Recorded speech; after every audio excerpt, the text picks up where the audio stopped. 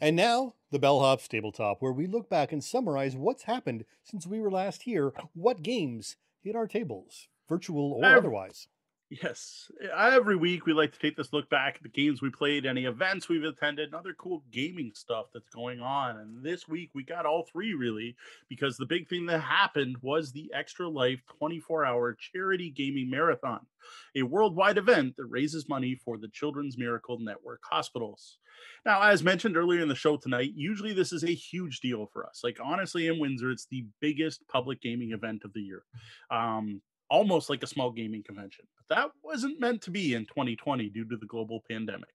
With shifting timelines for what is allowed, where, and when, and constant concerns for the health of everyone involved, another casualty of 2020. Yeah, we didn't. It, it, it, it did take some damage, that's for sure, but we did keep it alive. So, what we did is we encouraged other gamers uh, and ourselves to hold their own extra life 24 hour gaming event.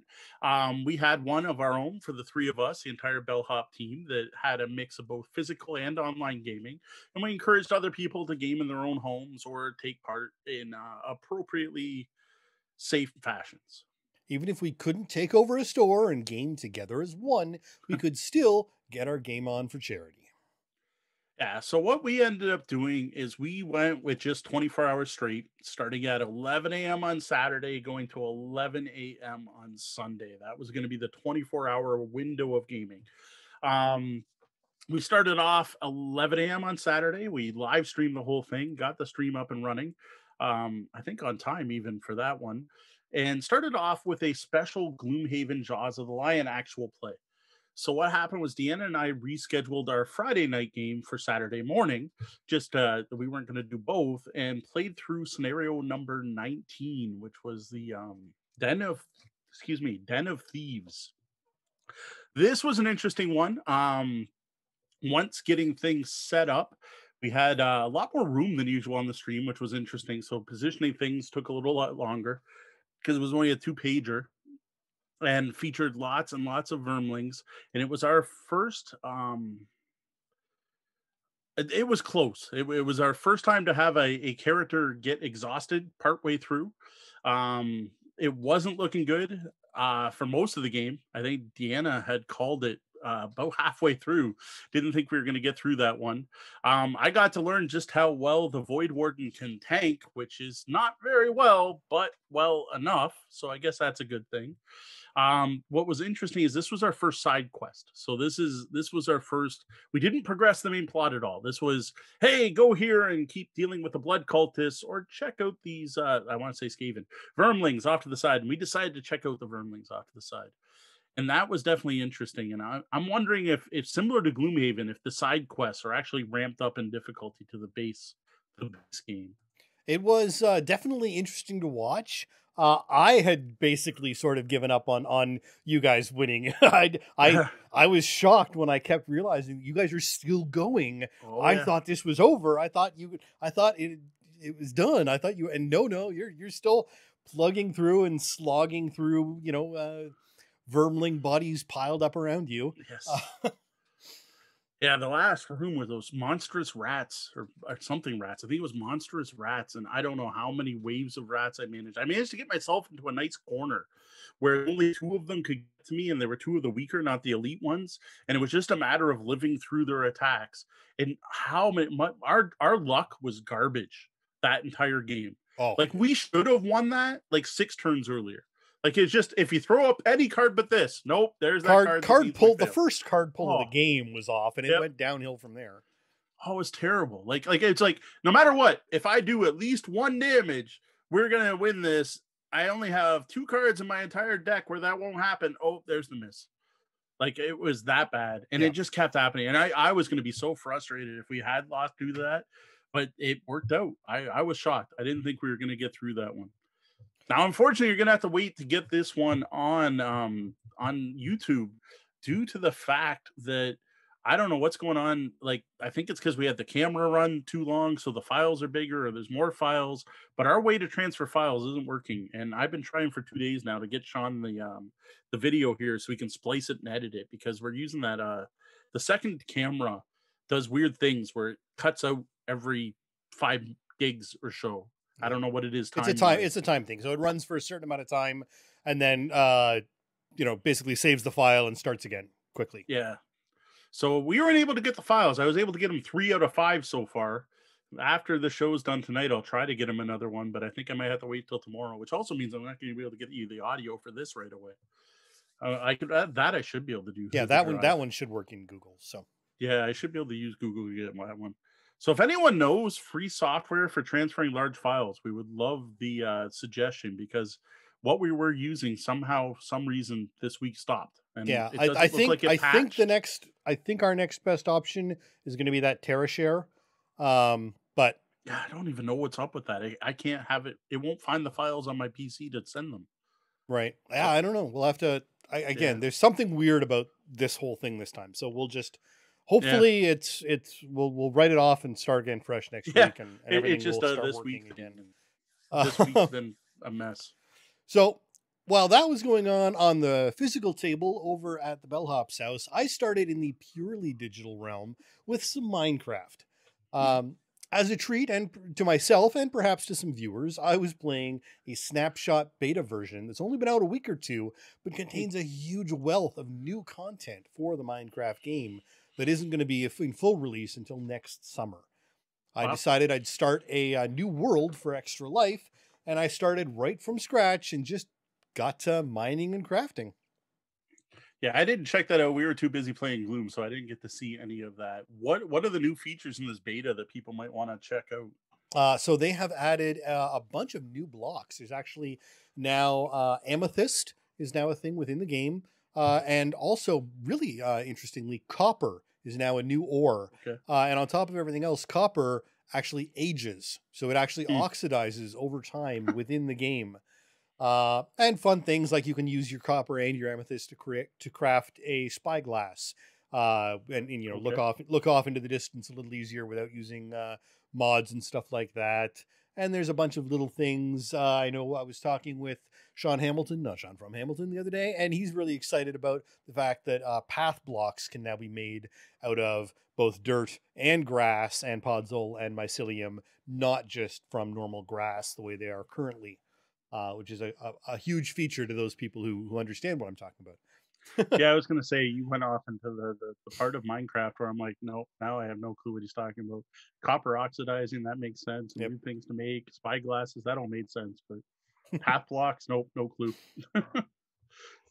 all right, after we finished Gloomhaven, which did go way longer than we thought because wow, that was tough, and and the it just kept dragging because we thought it was going to be over one way or another. Um, we started a little later than we wanted, but we got the kids to come over and we broke out a brand new game to us, well, new to us game, and that is Harry Potter House Cup Competition. Uh, first off, I do have to say thanks to the kids for our pa- their patience because man, did we have a lot of technical issues. Like we had tested the stream the night before, and it was, I would say, fragile at best, but I got it to work. But it was not working at this time. Now, the laptop we use is not designed to handle two camera inputs and the mic. It ends up all three of those together pushes it beyond its USB limit. Now, we did manage to get it to work, but uh, even once it was working, we were still having problems with cameras freezing pretty much randomly, as far as I could tell. It first we thought it was a connection issue, but then it would just happen in the middle of us playing. So I don't know. Yeah, sadly, adding the lights to the setup was much more cost effective than a new computer. We're still yeah. working on that. Tonight, though, it was, and this weekend was about the charity and giving to hospitals, not working on our stuff. Yeah, we could definitely still use the. uh We're we're still working on the new PC angle, but yeah, I don't think we're going to be trying the two camera thing again. So, uh for those of you who watch our Gloomhaven streams, it's not coming anytime soon. I do apologize. Hopefully before the end of the year, but definitely not in the next couple weeks because man, that was a mess. Like it it it was frustrating. It didn't make sense. Stuff would work and then cut out, and I'd switch scenes, and all of a sudden something be gone. Oh, it was it was extremely frustrating. And like I said, thanks to the kids for putting up with that. Now, as for Harry Potter House Cup competition, uh, this is one I think people are going to be very excited about for fans of Harry Potter. This is a very light yet solid worker placement game. And the more I played, the more it kept reminding me of Lords of Waterdeep. And there are so many people that push Lords of Waterdeep as the gateway worker placement game. And I think this may even replace it for that. Though I do have to say the theme is even more pasted on than in Lords of Waterdeep, if not at the same. I would say even le- it, it's even more pasted on. Like you don't even get artwork, or at least Lords of Waterdeep, you get a picture of a dragon or a beholder or something. You don't even get that here. Everything's sing- symbols. So this is a game it's worker placement where you have three workers, you have your three students. Each of the players is one of the four different houses, and you are going to take your students and send them to various places at Hogwarts, the library or classes or uh, the apothecary. I can't even remember all the spots on the board. In addition, there are random buildings that are put out that get added to the game, and that's another part that reminds me of Waterdeep. But instead of being built by the players, they're just randomized at the start of the game. You're going to go around and collect knowledge and magic. You're going to complete lessons to get some bonuses, all with the goal of finishing challenges. And the challenges come in two levels: easy and hard challenges. Each round, your goal is to try to complete two if you can. Like that seemed to be the thing. And at the beginning, you're going to be stuck to probably trying to complete little easy challenges moving on to the harder ones. Eventually, you can only do one of each. The kids really liked it. I, I thought it was way deeper than I thought it would be. Like I read it and went, oh, it's a gateway worker placement. You're collecting stuff to finish stuff. You're collecting these resources, then trading them in to get points, basically. But it was there was way more pre-planning required than I thought. And another big aspect of this that actually feels more D&D like than Waterdeep is you level up your characters as you're playing. When you send your characters to classes, they get better at um, charms, potions, and defense of the dark arts, being your three main classes. I thought it was solid. Uh, the kids seemed to really like it, but man, it took a long time. Like the box says 75 minutes, and I think we were well over two hours by the time we were done. And that combined with the delay of getting things going did have my youngest a bit bored, but you know what? She stuck with it to the end. Yeah, and I have to say the theme is very curiously pasted on. Uh, Potterheads, myself included, having watched it, uh, will get frustrated at some of the things the game enabled because they're using named characters from the movies. Uh, okay.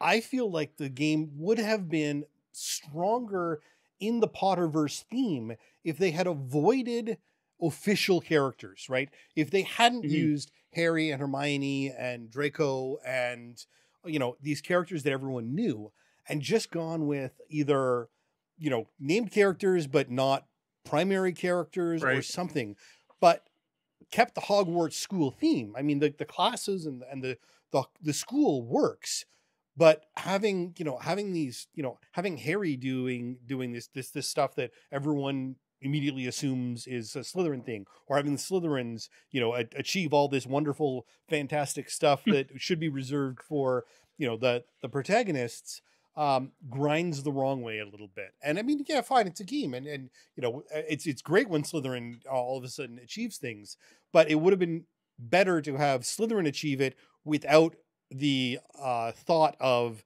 that evil Draco mm. being the one to do it. Yeah, another thing the kids pointed out, and Deanna's pointed out in the chat too, was timeline issues.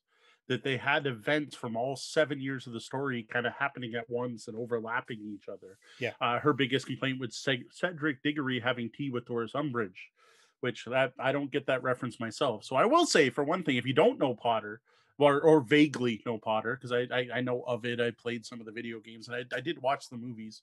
Um, I think most of them, if not all of them. It didn't matter. Like it, it really didn't matter what yeah. you were doing. Though the kids did get a kick out of it. They're like they were really upset that that um that Slytherin formed uh, Dumbledore's army. That was the one that broke my kids. Yep. And I'm like, I don't know, it was worth 60 points. I gotta admit, it does have probably the coolest scoring mechanism I've ever seen in a game. Not mechanic, not mechanism.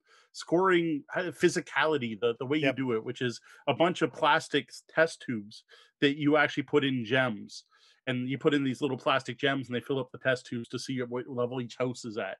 And I actually really love that mechanically because you couldn't quite tell where anyone was at. So like it, you get the advantage of kind of seeing if someone's gaining a lead, but you never know if you're quite ahead of them or not. So it doesn't quite have that chase the leader problem, but still gives you some information on who's like, you know, little G's not doing so well. I'm not going to pick on her. I'm going to pick on Big G, who seems to be doing really well. And oh, look, her mom seems to be past her. It's time to start aiming that way. And I, I was really impressed by that. It looks cool and it's thematic. That's that's the one part. Yeah, and it's, it's actually it is actually not the same as, but similar in a similar vein to the way that the that Hogwarts actually keeps score for the House Cup. Yeah. Uh, whereas they it's it's it's a little more um uh, uh hourglass ish in the in okay. the in the movies, but still, it's a similar concept of you know piling up these little things to to see who's winning, and so they they really did go on theme with that yeah, I did like that one quite a bit. So overall, I, I got to admit, I was impressed. The kids seem impressed. We're going to give this one a few more tries, then we'll be doing an official review of this one. Um, thanks the op for sending us a review copy. Probably should have said that at the top here. Um, actually, quite a few of the games we mentioned now, maybe, eh, maybe. No, most of what we are playing tonight isn't actually review copies, but that mm. was. So I should have said that from the top. But yeah, I got to say, it, it captured the feel, and I think for fans of the series, this is a great like this.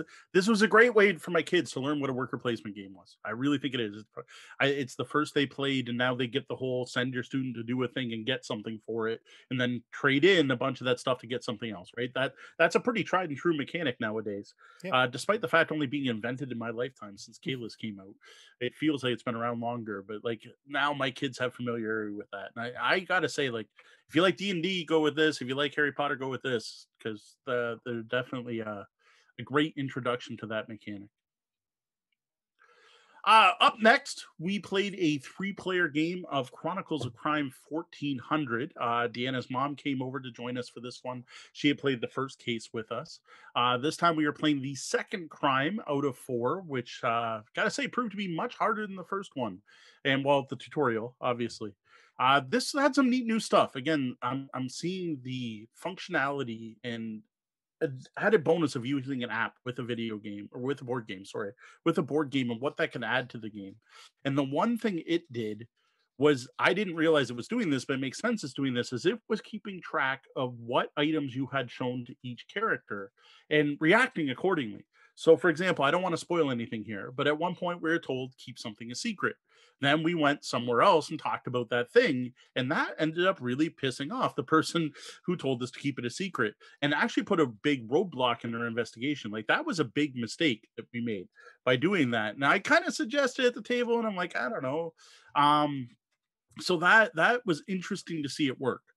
Now, Deanna does want us to point out at the time that there was a bit of ambiguity how one particular item in this worked. Now, again, I don't want to spoil anything, but there is in this game we've talked about it before so i don't want to give a full overview but you're going to get clue cards and the clue cards are generic so it'll say like notes and letters or it'll say melee weapon and it can represent different things well in this particular case one item one card seemed to be representing two different pieces of information and we were having a hard time getting the app to realize which part of the information we were talking about or we were not understanding which part of the information the app was going to pick because it's not like you got an option. So we're like we're going to talk to this person about this thing and you're like no no no it's talking to him about this other thing and we get punished for it. So that that was my first complaint about the chronicles of crime series. Now i don't know if this is something that carries over from the original games but this definitely was um where we got the frustration of using an app because this is something what exactly does something represent right? Like we know as players sitting down playing this game that if we were this character we would go interview this person about this. And then getting to figure out how to do that in the app was harder than it should be. We're like well we want to talk to them about this. Do we scan this card or this card which so there there's it, it's not the shining example i found in the first two. I wasn't like oh my god the app's awesome. Now i'm like okay i can see a few of the the, the problems with the system.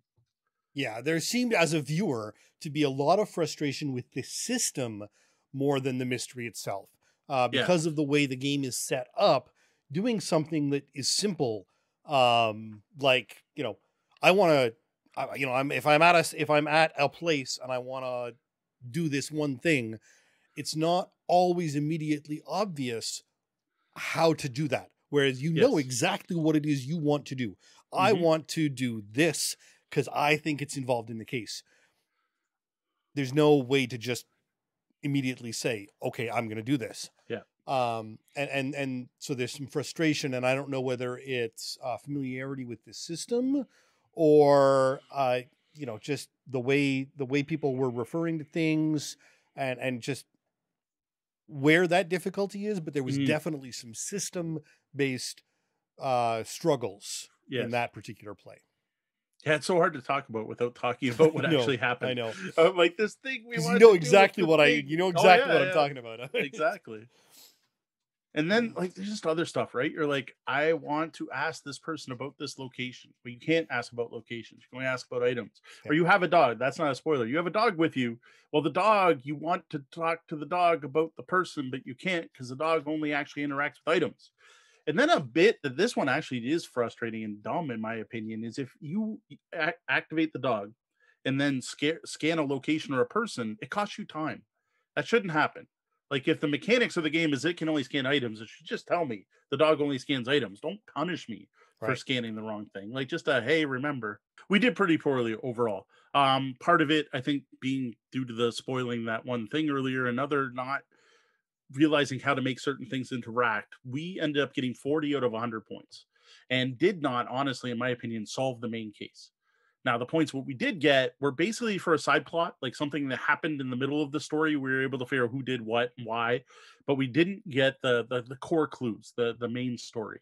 And what's interesting about this, especially compared to what I've said about the game previously on the podcast or on our uh, or even on the blog, is that we're going to replay this, and it's going to be interesting because I'm not sure exactly how that's going to work out. Because I had always thought, you know what, once you solved it, why would you play it again?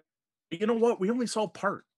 And when we finished it, we had the option. I could have read the solution and found out why and how and what we missed. Like we do know one particular item we missed out on that we know we need to get that item to solve it.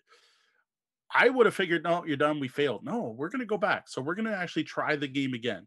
So part of it, yeah, we're going to be able to skip through quickly because we know the results. But uh, like for example, that one secret, we'll keep the secret next time and see how that plays out. So Yeah. there's actually a level of replayability to this game that I didn't realize was there on previous plays. Yeah, it's handy that you can take another run at it and avoid certain pitfalls that you know are there and perhaps make the right moves. Though I can see that it is not so easy that knowing what you know now, a second run is still a guaranteed success. No, I don't think it is. I don't like we'll know that one side plot and what happened there, but that's it. Uh Deanna's pointing out an amusing aspect is it's Chronicles of Crime Tragedy Looper edition, and that's exactly it. Eh, the character you play is prescient, so Yep. there there is that. So there you go. We're even sticking with the theme. Yep. So yeah, there is definitely something to be said for replaying a case to try to get a perfect score without hitting the solution. So we're we're gonna do that. So it's it's cool to see that the game has more replayability than I thought. So at this point, it had actually gotten surprisingly late. Like uh, I realized it's only three games, but those games took a long time. Um, all of them took significantly longer than we thought. It was it was nighttime by this point, so we got some Windsor style pizza from Capri, and while waiting for that to show up, we're like, you know what, we I don't want to sit downstairs. Let's let's move things upstairs to to here on the PC into the office, and we started playing some games on Board Game Arena. Now it ends up we stayed online for the rest of the event, which I got to admit, one of the big reasons being that you know my game room is pretty comfortable. It's now very well lit, and the chairs are comfortable. You think for one or two games, but after about 12 hours, those chairs aren't so comfortable anymore and things start going numb or sore. Um, as Deanna pointed it out, you don't realize how much it hurts until you get up to do something else, and then you're like, Ooh, I can barely walk. so, yeah, once we got upstairs to the comfy office chairs, it was a little hard to leave those. Yeah. I didn't have Windsor pizza, not that I'm bitter, but I do have a very nice chair. So There you go. I'm good. You had the chair. So the first thing we did is all three of us finished up a game. So we had a game at Clans of Caledonia going from before Extra Life. Finished out that game.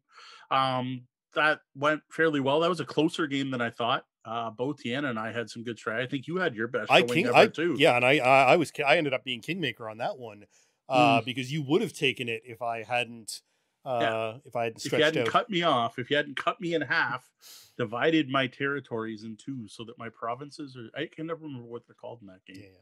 what what my my colonies couldn't hook up, so I, I lost out on those points. I thought I had that one. Deanna had a money making thing going there that I've never even seen before. She had so much money. Yeah, that was that was insane. I mean, she was was she was in, she was into three digit coins there. That was just wrong. Yeah, that was crazy. Still loving Clans of Caledonia. Uh, Yep. the- really digging that game. Loving trying out the uh the different clans and stuff like that. Um, Deanna was playing the ones who could make sell their milk for for good money and made 117 coins in the last round. Where I think I was making like 38. That was that was my first time playing the uh that race race. Sorry, I'm used to Terra Mystica. Plan. That clan with uh you get extra money when you buy and sell and well i came in second so i guess it worked well enough but i found them a little hard to play S- not as hard as the fishermen the fishermen are the one one clan in that game i can't figure out Yeah, I should uh, I should figure that out. Uh, so next we sat down we're like we got to try to find something new to play something the three of us can play that'll be exciting for people to watch. Because we were live streaming this sean was streaming it on his channel. We were streaming it here at tabletop bellhop or twitch.tv slash tabletop bellhop.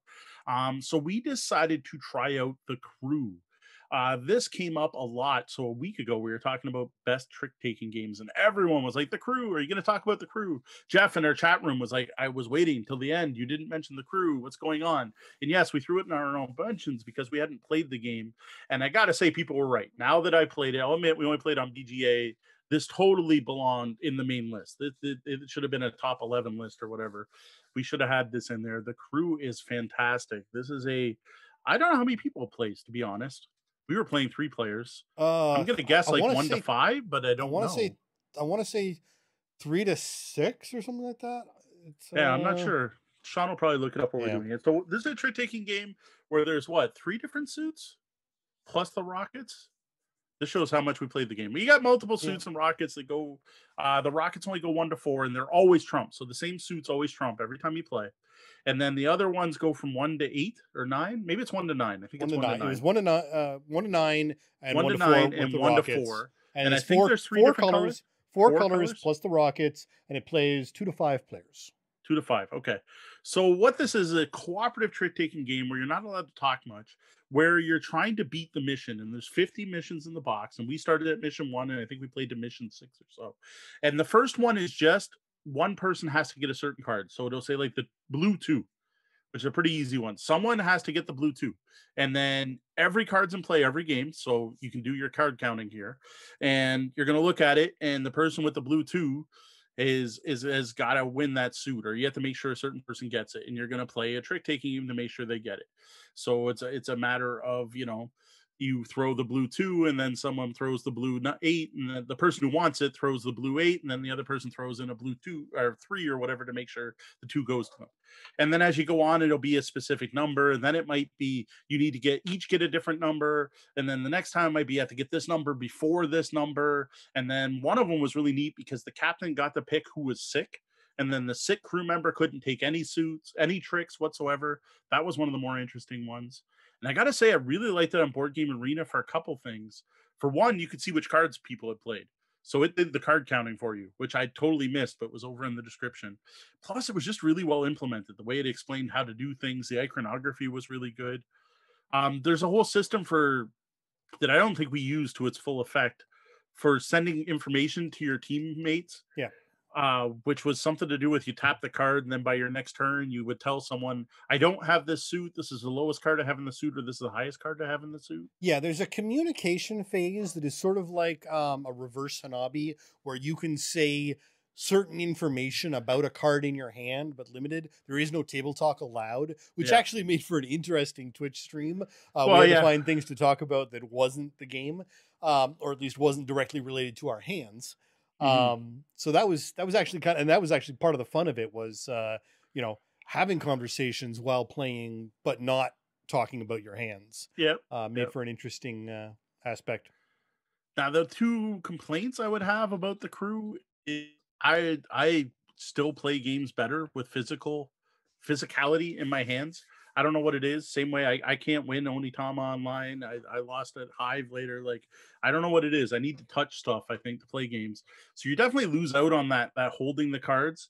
But the other thing is, is I would not now that we're doing it and it's off, I don't want to play this not real time because we technically still have that game going and it's so hard to remember who was trying to get what and what card like yes i know all the list of what cards were there is on the right hand side but i think this has to play real time like i, I want to even on bga like this is I, I think what we should do is uh we'll get together with john this weekend maybe and play some of the crew i think that might be what we could do Yeah. spend a few hours trying to hammer through some of that because that would be another one for us chit chat and listen to the 80s music while playing the game at the same time Yeah, absolutely. It, it's it's definitely a real time. I mean, you know, I can I can see you know holding the cards or not is one thing, but playing this spread out with your turn Oh, spread out over days is just going to be painful. You need Yeah. to actually be Yeah. in the flow. Like that's the flow is part of the game.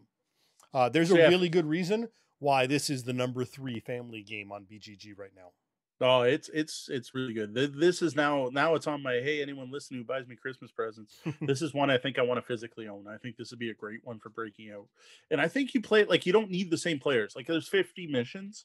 I think you just take whatever your copy is and whoever you play with, you slowly go through them. Right? Like if I show up the, to to the local game store three months from now, it's like, all right, I'm up to number 37. Who's ready to go? Now I'm- I'm gonna guess they're probably pretty difficult at that point, but yeah, it's pro- there's probably I mean you probably need to have played some of the early ones to understand yeah. the flow. But you know, hey, have you ever never played before? Okay, let's play missions one to three real quickly, and then yeah, we'll hop just to over get you and, the idea. and play. But I think that's what I'd do. I would have my own campaign version played with groups of different people. Yep. So I admit, once we hit to about number six or five, I just started making bad moves, like just dumb. You were like, you were struggling. you need the that. suit. I'll play the nine. like I don't know. I, I I admit I had like an hour and a half sleep the night before Extra Life, which is just a really dumb idea. It wasn't planned. I think I was just nervous about Extra Life for streaming, so I needed a bit bit of a break. So I took a short nap. Now Deanna stayed up, and you and Deanna, Sean and Deanna, continue to play games on Board Game Arena, which I think you started off with one of the ones you taught me in the past. Absolutely. So Jaipur is a great two-player game. Uh, and again, it, it is a trick-taking game of of sorts. Um, sorry, you know, in a in a manner of speed. And I'm not a great teacher of games, especially after 13 hours of, of online playing or so. But the game itself, and on top of that, BGA's implementation of it, are really conducive to just picking it up and going. Um, I think she trounced me three games to one or something. So she obviously got the hang of it. Um, and uh, right now, she is talking about uh, having, you know, getting a physical copy of it. And while I agree, I want a new version of it. And apparently, there is talk of a deluxe version coming out. Uh, but the the cardboard tokens on this are just wrong. It needs clays. It it needs uh, poker chips or clays or something better than the cardboard tokens. It deserves more. Um, and apparently, the art that is in the app version may be coming out in the new Hmm. new release coming. That's uh, it was supposed to be a 2020, but well, it's 2020, so Yeah. who knows? Yeah, this is one that happens to be part of the Amazon sale we were talking about earlier. And when I saw the price point on this game, I'm like, that seems awfully high. Like at first, Sean was the same thing. He's like, well, it's not high because you get your poker chips. And I'm like, no, it's just cardboard tokens. Like for a bunch of cards, Yeah. it seemed a little too high uh, a price point for what you get. Now, Yep. again, if I'm going to go with the number of times we're going to play the game and the quality of the game, sure, it's probably justified. But just for what uh, a, bunch of playing cards and cardboard chips, Yeah. Now I they're solid cardboard chips. I mean, you can see in the images they are a good thick um, cardboard token, but it's still just a cardboard token. yeah, I, I I don't know. I found the price point a bit off on that. One. Yep. No, absolutely. But uh, moving on from that, after uh, we we played a few games of that, we were we were both burning out as well. I mean, you'd you'd gone for a, a little lay down, and but we weren't uh, we were feeling it as well. So we wanted something light and two player friendly that wasn't real brain burning. Uh, so we jumped into Kingdomino. Um, you know, nice light domino lay-in. Uh, and aside from me forgetting one thing in our first game that that that cost me uh, the game, even if it, I hadn't been playing against D and going to get trounced anyway, uh, it was just a nice, fun couple of light plays. It, again, the implementation on uh, on BGA is solid. Mhm. Uh, I they possibly could have found a better way to do rotation of dominoes, but other than that, I mean, that's a pretty minor complaint. I mean, and Mhm. that's that's about the only thing I could think of them changing on the BGA uh, implementation of it. All right. After my way too short nap, um, I got up, logged back into Board Game Arena. Deanna tapped out for the night. Uh, Sean and I spent some time talking about what to play. We did take turns on our existing games. As usual, we talk about the show all the time. We always have a bunch of games going. One of those existing games that popped up for me was Seven Wonders. And I'm like, wait a minute, Sean's never played Seven Wonders Duel. I'm like, all right, how about we sit down? I'll teach you Seven Wonders Duel. It's two player only game. I love Seven Wonders Duel, especially when compared to Seven Wonders. Like it's it's a solid two player game, but like I honestly I'm not a huge fan of Seven Wonders, but I really like Duel. I think it's better than the original. I would rather play Seven Wonders Duel over Seven Wonders anytime, but of course it doesn't work with seven people. So I do get the appeal of Seven Wonders. Now, this was your first time playing Seven Wonders Duel. What'd you think? Uh, I loved it. It's far superior to Seven Wonders. Uh, you know, I play Seven Wonders on BGA because we can. It's just it's there.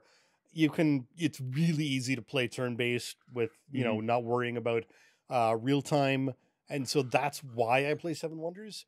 But to say that I like Seven Wonders would be a bit of a stretch.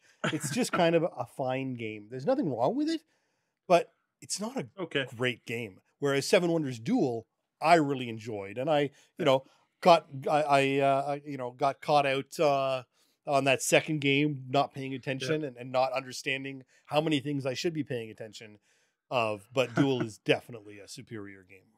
Yeah, that was where I won with a military victory. Yeah. So it's one of those if you're not paying attention. The first game he let me collect too many uh uh what do you call them? Whatever victory point cards, the blue Yeah. cards. And then the second game I snuck in on the military win. So Yep. I just the way you draft cards, the way it works, the way you get money for your cards, it's just oh, it's such a smoother system. Absolutely. Even the the drafting this the eight wonders at the beginning of the game is well done and knowing when to convert them over. Just the decision points are better. I, I still and and I gotta say that was my first time playing on Board Game Arena. It worked fantastic. Like I would actually say better than in person in a way because there's too much to track Right. in the original game, especially how many yellow cards you have, so that when you're going to sell a card, how much you get. Yep. You get two plus, like it does all that math, right? Plus, if you mouse over the green cards, the, the the green chips, the things you you get for having technologies, it tells you what they all do. Which every time I play the physical version, it's grab the rule book, look up what that stupid green thing does, Yep. and then someone uses the wonder where they get to pull green things out of the box, and you got to look those up. It was so much less fiddly. So I, I think this is going to become a new favorite of mine on Board Game Arena. Absolutely. So once we finished off uh, Seven Wonders, I'm like, all right, I taught you one of my favorite games. How about you teach me one of yours? And you ended up showing me Rallyman GT, which I know you play all the time on uh, Board Game Arena. Yeah, and I've been playing four to six player matches of this on BGA for quite a while. And while it's not best at two player, it's a really good way to get a feel for the mechanics uh, because sometimes uh, you can get some really longer, long games or long turn breaks in the 4 to Mhm. six players just because there's all there's, there's a lot to think about sometimes. Yeah, for me, it was I, I was surprised by it. It just wasn't what I thought it was going to be. Now I don't know exactly what I thought it was going to be, but it was definitely different than what I thought it was going to be. I think I expected more of a Euro, like a, a, more of a mechanical, crunchy game, something more like Thunder Road, which is a, a fantastic NASCAR-based game from GMT Games, and it, this was way lighter, like like really light. Like this, this reminded me of maybe a little higher than the easy mode in Formula D, where you don't do wear and everything. But like and and and Thunder Road kind of in the middle there, but definitely more on the Formula D side. Um, well, being at least similar, right? Because it was still it's still dice driven. It's still it's a very different dice driven, and it was really neat to see how it was done differently. This is actually closer of all things to Monza, which is a kids game we've talked about before. Where Monza, you roll a bunch of dice and then you place the dice out onto the map in different squares that match the colors on the dice, and then go forward that many squares. This is kind of that, except the difference is you're going to roll. It doesn't matter the color of the dice, but you're going to roll the dice to see if you were, roll what caution symbols, whatever they represent. And if you roll too many caution symbols, you spin out. So it's it's more of a push your luck game. I'm like, I, I was pretty cool. I liked it. It was neat. Um, the big thing though, like Sean said, with two players, it was kind of eh. Like I like I got to see the game. Yeah. Now I want to try it with more. Like I I want to play this with four or six players. Plus, again, the physicality. It's dice. I want to roll them. This is one I'd love to try in person. And So see- again, once things clear up, if anyone Windsor's got this game, I'll totally play this. And see, I prefer it digitally, so I don't have to worry about all the fiddly dice and bits. But yeah, again, that's just that's just me. I'm lazy. I like I like computers taking care of uh, the bits for me. And I gotta and I gotta talk to Eric uh, when when we're getting close to the end of our next one. I'll give Yeah, Eric a poke so that when we start it up, uh, we'll we'll get you in there. Um, it's just a solid game, and one of the really interesting things about it is the random uh, track layout. So Mhm. we actually got one of the hardest Yeah, tracks rough. I've ever driven on for our little two-player training game. Uh, and I that, don't it was think we got up the sixth gear. no, it was ever. it was it was crazy. Um, but again, it was it was it was helpful in that it could teach you that there are some pretty nasty turns in there that is going to Oh, yeah. burn that are going to burn you. All right. At this point, after Rallyman, not that Rallyman was was difficult or anything, but just it's the it was. I don't even know what time it was to be honest. It was early, and my brains were melting a bit. We decided to go for something lighter and quicker. Um, I booted up Hive. Uh, this is still one of my all-time favorite two-player games. We played a few rounds of that. Now that one, I think you had played with me in person before, probably years ago. Yeah, it was uh a, the first. It was the first time I played digitally, but yeah, very many years ago we played it on the table down in, the, in your basement. Yeah, Uh, long ago enough, I needed a refresher. Yeah, it, it's solid. I I still like it. Like overall, Hive's a great game. It and BGA's version was pretty good. I it just were- don't switch to the 3D mode. You were highly amused by the fact that what the the bugs always turn towards the queens. Yes, yes, I did like that. I forgot about that. Yeah, all the bugs, no matter where the bee was, would all look at it. So it was really good for figuring out where the opponent's bee was. I'm like, my tiles don't do that. So yes, you're right. I had totally forgotten about that. That was a nice job. So if, if you want to play Hive, BGA does do a great job of Hive. Yeah. I think it worked really well. Yeah, no, absolutely. Uh, yeah, for some reason we discovered this, and I somehow I don't think we've ever actually noticed the button for it. There is a go to 3D mode button in BGA, uh, which apparently needs to have games specifically designed for it. Because every time we've clicked it so far, all it's done is taken the flat screen and turned it Yeah. to be everything flat on a flat screen, but at a, an isometric angle. Um, maybe there are some games where they have implemented this. Uh, you know, some of the newer games. I wonder if Santorini or something has got a 3D version. Um, but so far, nothing we've tried it on has. I figure if anything it was going to work on, it would have been Hive, and it didn't so. work on Hive. So at this point, I I know I wanted a break from BGA. I think you wanted one too. I just like I I can't stare and read words anymore. I don't know, and I suggested booting up Star Wars: The Old Republic. Now, yes, I mean the old now free to play MMORPG.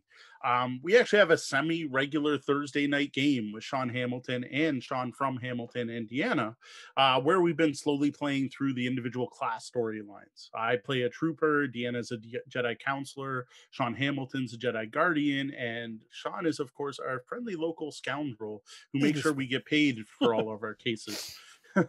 Someone's someone's got to demand the Hutts pay up. Yeah, exactly. Um, so this is a game I used to play. I used to actually have a lifetime subscription back in the day. We I paid for it for months, got a lifetime subscription, then it went free to play, and I got mad because I was wasting my lifetime subscription. And instead got whatever a monthly stipend of cartel coins or something. Anyway, we got back to this. We were just looking for some way to kill times and be able to hang out more often. So uh, we started playing.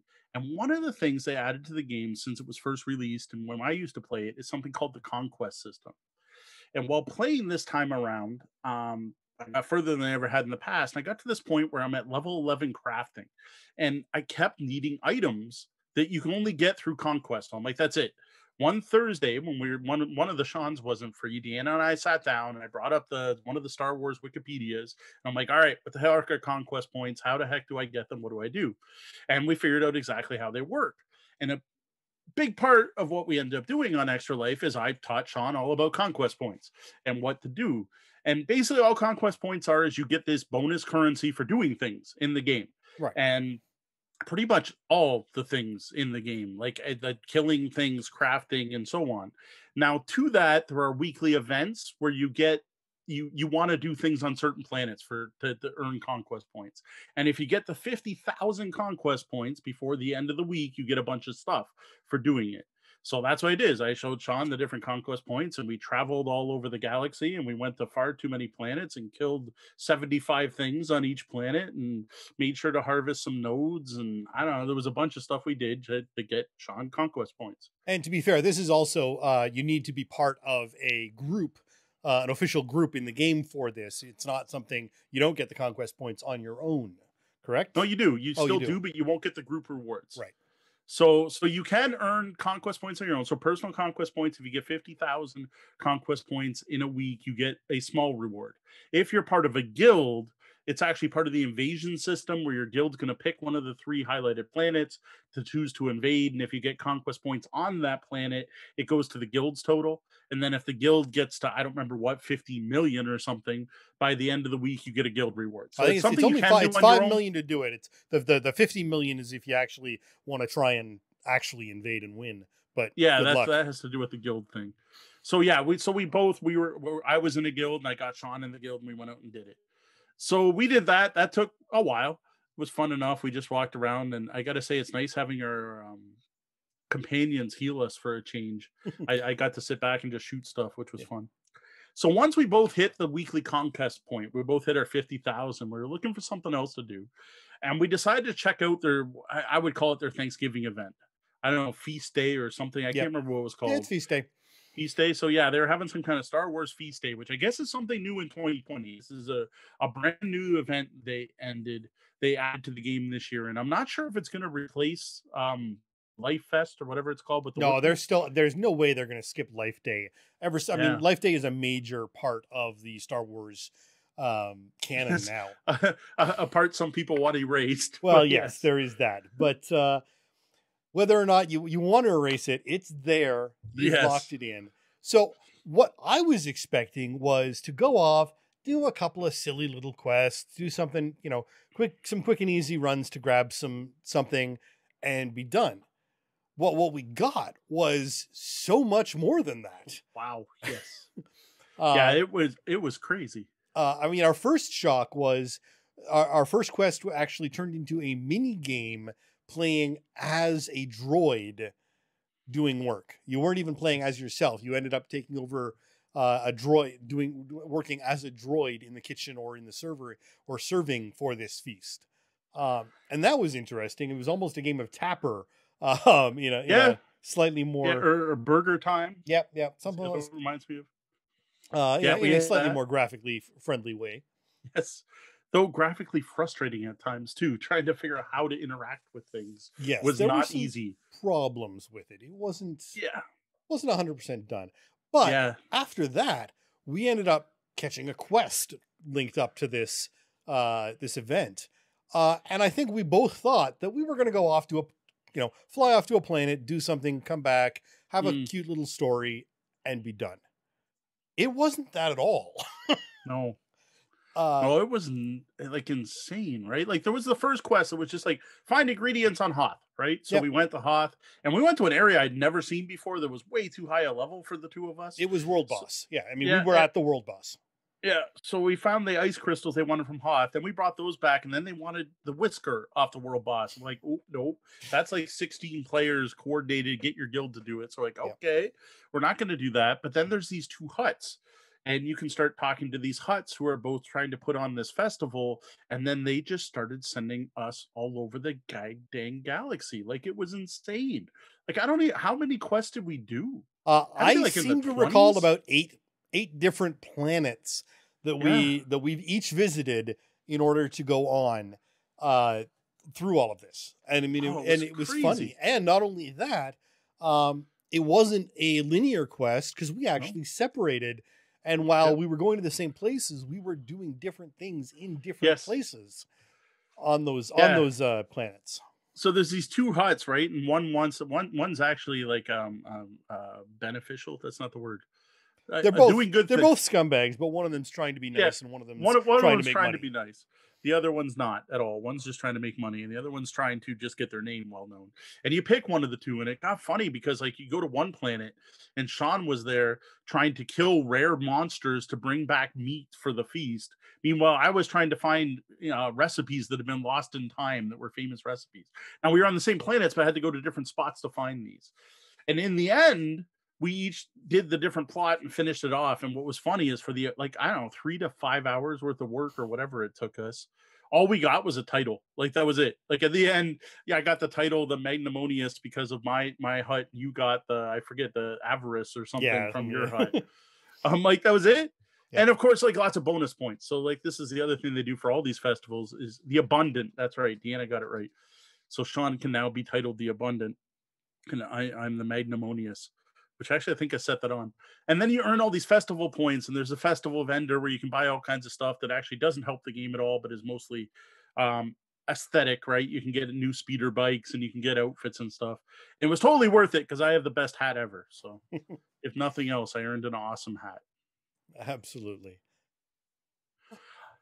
So after a whole bunch of uh, Star Wars, Sean was feeling it. I was feeling it. We were nearing the end. We're like, all right, what are we gonna do for like 45 minutes? We just got to make it 45 more minutes, and we're done. And what I think is really ironic is I was just scrolling through the games on Board Game Arena, going, "This is the point in time where we need something silly. We need like we need a party game, like something that that just kind of re-energizes us." And I scrolled through and I noticed they had concept. And what I think is hilarious about this is I don't know, at least four different extra life events I've been to now. We ended off the first morning with concept. That was the last game I played before I crashed after 24 hours, only to return to the game store six hours later to help clean up. But like like four times in a row. And sure enough, we finished off with concept. And Sean had never played concept, despite me mentioning it in almost innumerable times on the show. For there was a big joke in 2018 with our podcast that every game recommendation episode we brought up concept, and I think there's a good reason for that. So this was your first time ever playing it. What'd you think? So the implementation of concept on BGA is really solid. So despite yeah. the fact that I've never actually played it and just knew the rough concept of the game, we were off and running in no time. I mean, there was no learning curve here. You, we just started. No, playing. not really. I mean, it was you know we were off and running and having as great a time as you can after 24 hours yeah. of consciousness. Now I gotta admit, it, it's not the best two player, but it worked. It strongly warned us. It's like, don't play this two player. I'm like, ah, it worked. We just took turns. You yeah. you give a clue, I try to guess. I give a clue, you try to guess. And we actually had, we had some people in the chat room even who were uh, sort of you know joking along and having fun. They were taking the people who had gone to bed like reasonable people yep. who came on to see if we were still up. So yeah, so yeah, we finished off with concept, and that would be all the games we played at Extra Life this year in 2020. Despite not being able to get together in person, I think that's a significant number of games. I think we did pretty good. That's a good mix. We got some heavy stuff, some well, not too heavy. We never really got that heavy. Jaws of the Lions, clans, probably clans and Jaws. Clan, clans of Caledonia was a little heavier, but most mostly games. Mix stuff online and digital, which I think was kind of cool. I, I thought it was pretty fun.